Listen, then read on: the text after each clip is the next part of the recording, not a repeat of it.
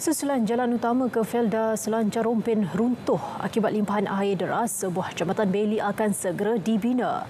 Timbalan Perdana Menteri Datuk Seri Dr. Ahmad Zahid Hamidi berkata pembinaan jambatan berkenaan dijangka siap dalam tempoh antara 48 hingga 72 jam.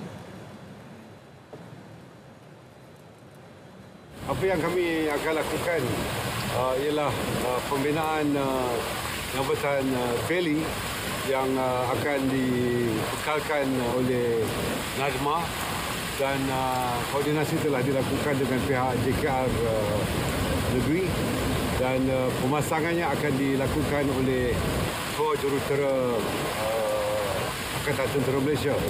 Saya telah menghubungi uh, Panglima Tentera Darat uh, untuk memobilisasikan Kor Jurutera dan yang paling uh, Uh, penting ialah uh, Valley Bridge ni akan uh, dipasang uh, sebaik saja ianya uh, sampai dan pemasangan ambil akan mengambil masa antara uh, 48 jam hingga 32 jam.